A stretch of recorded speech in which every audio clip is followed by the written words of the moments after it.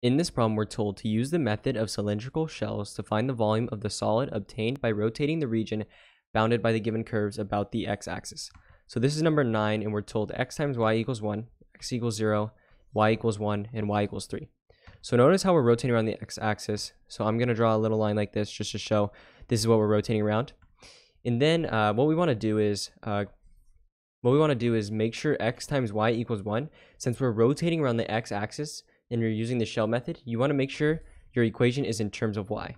So when you make it in terms of y, if we have x times y equals 1, you want to make sure it's x equals um, variable y, right? So if we want to solve this for x, just divide both sides by y, you're going to get x equals 1 over y.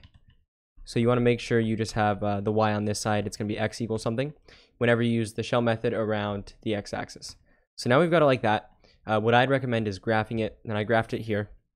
And so you can graph it. You don't have to graph it to solve. I just think it makes it a lot easier. So now what we want to do is just draw all the lines that they give us. So they tell us x equals 0. So that's going to be this line right here. So if we draw a line like this, that's that. We know y equals 1 and y equals 3. So drawing that, this is going to be y equals 1. And this is going to be y equals 3. So we see the area that this is going to uh, create, right, is going to be this shaded area right here. So this is the area it creates, and we're going to try and find the volume of this by rotating around the x-axis. And so you need to know that the formula for cylindrical shells is the volume equals 2 pi times the integral from a to b of your radius times your height. So this is the formula we're going to use. And so if we just rewrite it here, we first want to find what a and b are. So a and b are essentially, uh, if you imagine like you're solving for the area of something, right? So the area of this, it's going to be where your lines meet in the y directions, right? So if we look at this right here, we can see that it goes from 1 to 3 in the y direction, right? So it goes from 1 to 3. And so those are going to be your upper and lower bounds of our curve, right? Because it goes from 1 to 3. So 1 to 3. And keep in mind, since this is y, we know that we're going to be doing it in the y direction. If you were rotating around uh, the y-axis, you would do it in the x direction.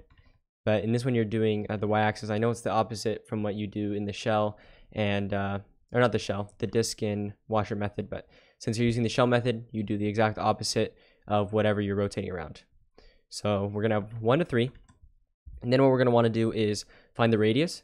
So this is something you have to keep in mind. Whenever you rotate around the x-axis, your radius is always going to be y. That's something that you really got to know. Uh, so whenever you rotate around just the x-axis, it's always going to be y.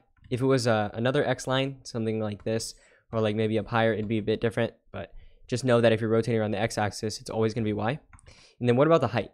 So the height is going to just be, imagine like you're just trying to find the area of this, right? So when you find the area of something, yeah, when it's like facing this direction, so not vertically, you take the curve that's to the most right and then minus the curve that's on the left. So if we look at this, right, this is going to be the curve on the right, this red line, which we know is x equals 1 over y. And then this is our other curve, right? It's not really a curve, it's just x equals 0. So it's going to be 0, so it's negligible when you subtract it. But if it was another curve, you just have to keep that in mind. So imagine you're just solving for the area. So we take our curve that's on the most right, which we know is 1 over y. And then what we're going to do is minus the other one, right? Which would be this one. So minus 0, and then dy.